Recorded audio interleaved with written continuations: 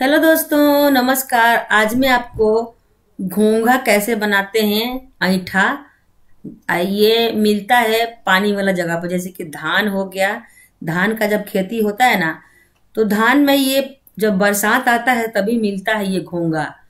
और घोंघा कहे तो हम लोग इसको ऐठा बोलते हैं। ऐठा आप किस नाम से जानते हैं कमेंट बॉक्स में बताइएगा हमें। तो बहुत सी जगह घोंघा बोलते हैं, बहुत सी जगह इसे ऐठा बोलते हैं। और इसका आज हम बनाने वाले हैं सब्ज़ी। तो घोंगे के सब्ज़ी किस तरीके से बनाया जाता है, मैं आपको बताने वाली हूँ। तो देखिए, इस तरीके से इसे अच्छा से साफ़ कर लें। और साफ़ करने के बाद इसे उबालना है हमें पाँच मिनट के लिए। पाँच मिनट के लिए उबालने के लिए रख रख देंगे। और जब ये उबल जाएगा, उसके बाद हम इसका सब्ज़ी बनाएँगे।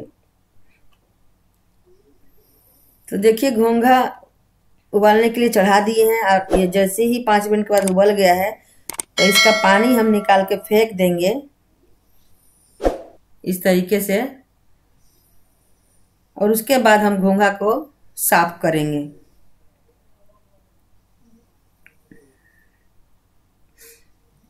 तो घोंघा को देखिए इस तरीके से अच्छा से अगला पार्ट निकाल के आप रख लें। ये देखिए इस तरीके से। निकाल दें और निकाल के आप एक प्लेट में रखते जाएँ।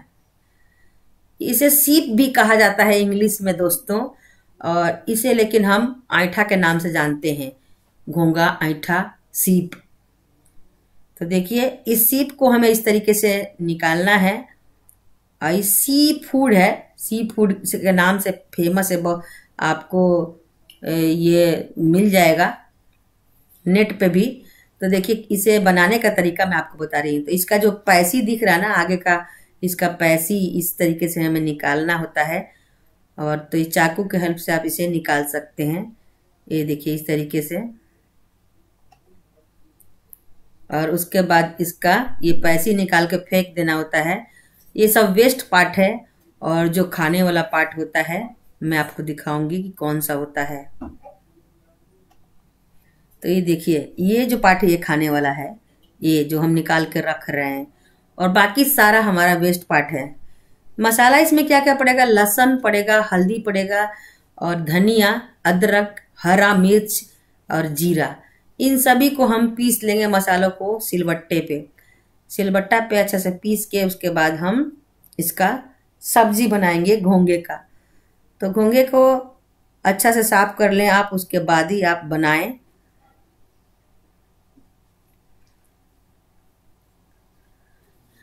इस घोंगे को खाने से दोस्तों, आँखों का जो रोशनी आजकल देखिएगा छोटे छोटे बच्चों को चश्मा लग जा रहा है।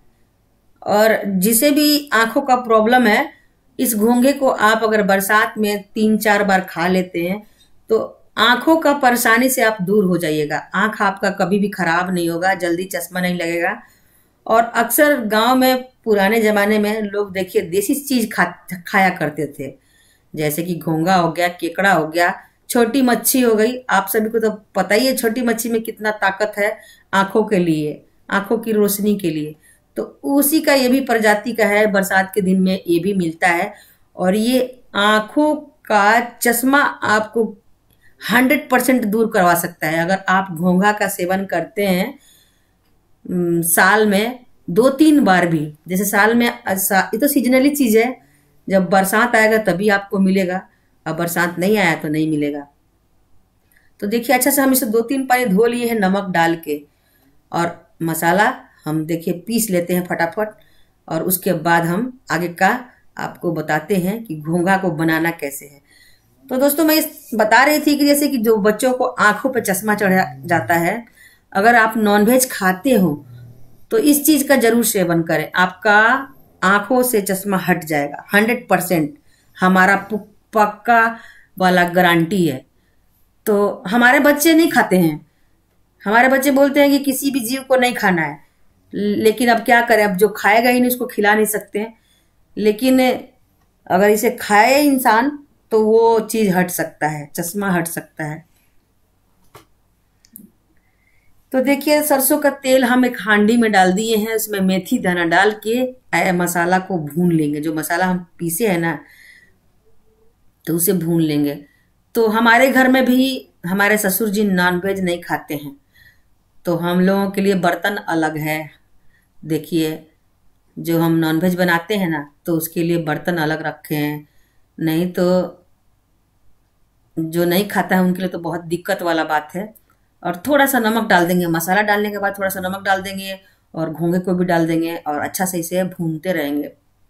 चार पाँच मिनट तक भूनेंगे बढ़िया से। ढक्कन से ढक के भून रहे हैं हम। और उसके बाद देखिए, बहुत ही अच्छा हमारा घोंगा ये जो है, बहुत अच्छा भून गया है मसालों के साथ। और ये अब आप चाहें तो इसे सूखा भी बना सकते हैं, आप चाहें तो इसे तरीदार भी बना सकते हैं, आपकी मर्ज़ी के ऊपर है दोस्तों। तो देखिए, बहुत अच्छा मसाला भुन गया है। अब इसमें आप जितना मन करे उतना ग्रेवी के लिए पानी डाल सकते हैं। थोड़ी देर के लिए मैं और भून ली थी। अब इसमें हम पानी डाल देते हैं और ढक देते हैं और पाँच मिनट धीमी धीमी आँच पे पका लिए हैं और ये हमारा घोंगा बन के तैयार है दोस्तों। खाने के लिए रेडी है बिल्कुल, रेसिपी कंप्लीट है। कैसा लगा बताइएगा कमेंट बॉक्स में। और आपको देसी चीज़ में क्या क्या देखना है ये भी बताते रहिएगा। और देखिए, ये है हमारे गाँव का दृश्य, ये हमारी सासू माँ बैठी हुई है, धूप ले रही हैं। सर्दियों का दिन जब ये मैं गई थी, अभी एक महीना पहले तो ये मिल रहे थे। अभी धान का जब कटनी हो रहा था ना, धान काटते वक्त भी मिलते हैं ये। तो सर्दियों का दिन है, अब मैं गाँव में गई हूँ और ये हमें मिला है खाने को। तो देखिए, इधर लाला जी सब सफ़ाई कर रहे हैं। यहाँ पे घास उगा हुआ है। ये जो घास पोए घास होता है, जंगली पोए है ये। तो जंगली पोए है, उसे काट के साफ़ कर रहे हैं, हमारे खेत के पास में है।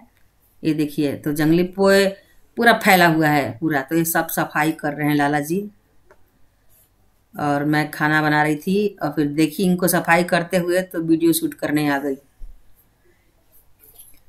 तो देखिए, ये सारा सफ़ाई करना है लाला जी को। इधर हमारा छोटा मोटा घर के पास ही में बगीचा है, जिसमें हम लोग क्या करते हैं कि ऊंचास पे है, ऊँचे पे है ना? और खेत देखिए नीचे में है हमारा।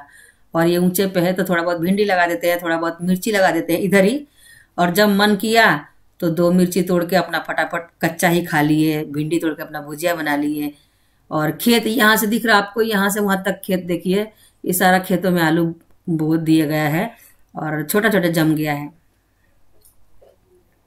और ये जो आपको रूम सा दिख रहा है ना तो इसमें बोरिंग लगा हुआ है, इसे सिंचाई होता है। तो दोस्तों हम मिलेंगे नया वीडियो में जब तक के लिए बाय बाय नमस्कार।